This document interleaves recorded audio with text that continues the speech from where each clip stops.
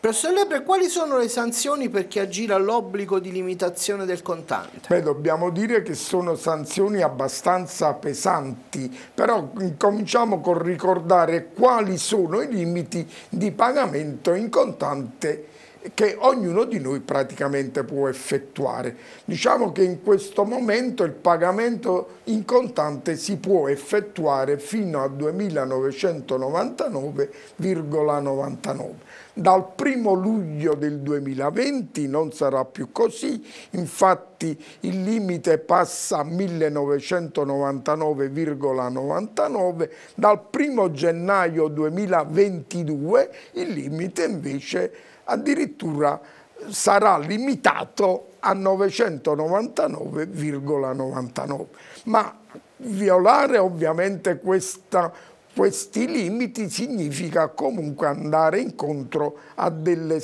gravi sanzioni che praticamente per gli importi minimi sono previsti a partire da 3.000 fino ad un massimo di 50.000, ma addirittura poi dobbiamo dire che in effetti per gli importi più importanti l'importo minimo della sanzione parte da 15.000 euro. Volevo tra le altre cose rammentare ecco, per, per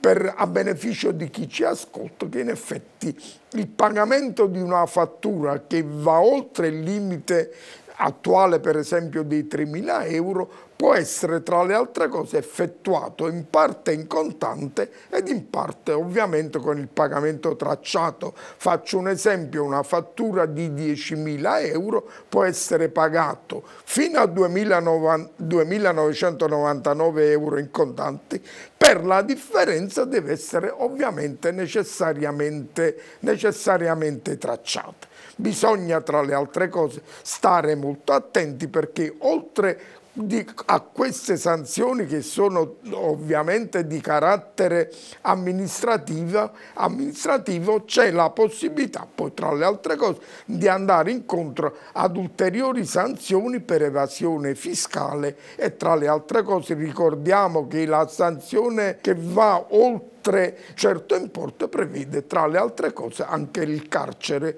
per l'evasore.